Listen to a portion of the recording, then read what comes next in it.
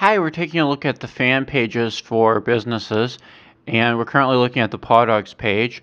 I'm going to just walk you through a few of the most important things on the new timeline fan pages that will help you make the most of these and we'll show you a few little tricks to see some of the information, some of the posts that uh, you may not be able to find right now.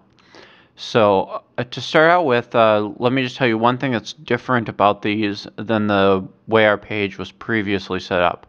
Previously, whenever you came to the Paw Dogs online community page on Facebook, you would by default see the posts from everyone. So you would see a mix of posts that uh, any one member of the public came and posted on our page, along with the posts from Paw Dogs, and you would see those chronologically in a list.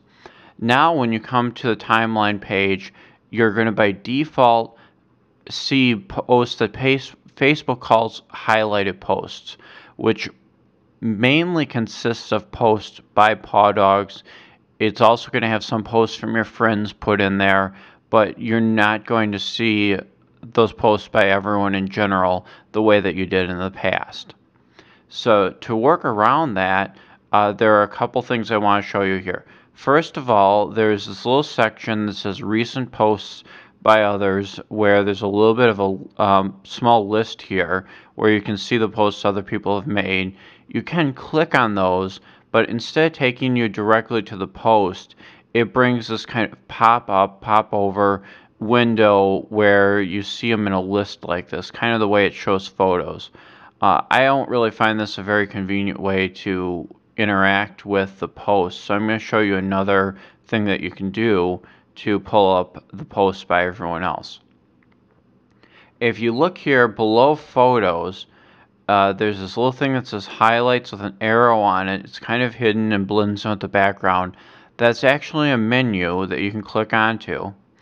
And so I just clicked there and then you have several options here you can choose highlights, friend activity, post by page, post by others. Um, and like I said, the highlights is the default. And I'm going to jump down to click on post by others to show you how you see the post that everyone else has made to the page. So I click that. And now we're looking at posts that other people have made to our page here. And this is showing us only the posts that other people have made. So as I scroll down, this is just like this is just all the posts you would, as you would have seen in the past that everyone has posted to our timeline, similar to posting to the wall. Now, if you want to see the posts by our page, you can switch back on this menu to the post by page, and then you're going to see all the posts that um, Paw Dogs has actually made.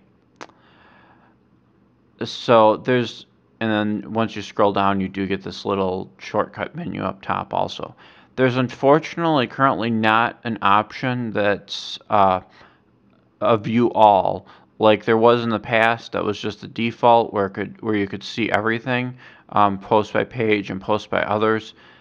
There's currently not that option so and also now when you come to the page this continually defaults back to highlights so every time you visit, it comes back to highlights. So you just have to remember to come to this little menu when you want to see the posts that everyone else has made and pop down to the post by others. And then if you want to see the post that Paw Dogs has made, you have to switch over to the post by page. So you, you kind of have to juggle back and forth on those two to be able to see everything. So uh, that's probably the, the main most important thing to that you need to know to be able to not miss posts and to be able to see everything that's going on on our page. Uh, the next thing, the next most important thing, so that you're not missing content, is I'm going to show you right now. I'm scrolling down and we're going through just a handful of posts there. Um, what do we have about? Uh, we just looked at about a dozen posts or so and then as we scroll down here, there's this little gap in the page. This is very easy to scroll past. Um, and all of a sudden we're looking at posts here from about two weeks ago back in earlier February. And what you need to be aware of is it says February here. This is not a button. That's nothing you can click on. But where it says see more recent stories, that is actually a button that you do need to click on to expand the timeline and see additional recent stories. So even to just see posts from a day ago, I need to click on that button to expand it and see about another day or so worth of posts, depending on how many posts that we've uh, we've made recently. Uh, that could be even less than a day or could be two days worth.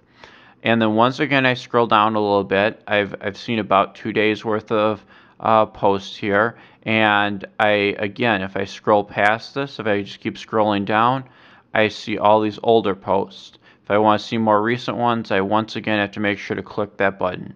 So uh, as you're scrolling down on the page and you're looking at posts from even the last day or two, you're going to have to be aware that this button is here and they're going to have to click that to be able to see uh, all the posts. Otherwise, you're going to just uh, end up seeing the very most recent ones and you're going to skip right past uh, the hidden um, collapsed posts if you skip this button and you're going to see the older ones.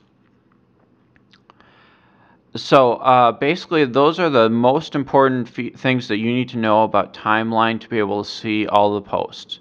If you are, you keep in mind this menu up top where you, when you come to our page, to select the post by page or the post by others, so you can see the posts that you want to see and then you keep in mind that button I just showed you at the bottom to expand on anything more than the very most recent posts then you should be able to see all of the posts just like you had in the past.